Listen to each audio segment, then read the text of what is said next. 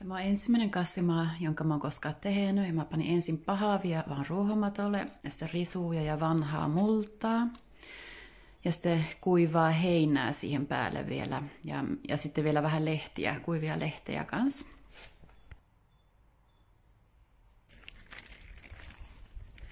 Ja tänään mä ajattelin kokeilla istuttaa siihen kanssa jotain syötävää.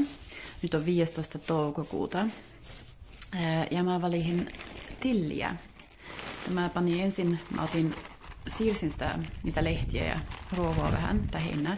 Sitten mä kaajoin sinne vähän multaa.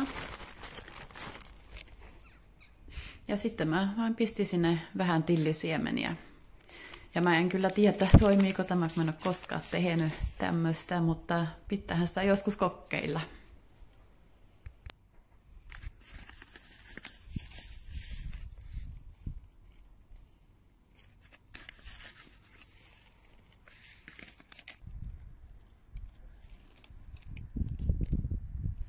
Ja mä teen sitten uuden videon sitten, kun näkee, että, että toimiiko tämä, että rupeako nuo kasvamaan.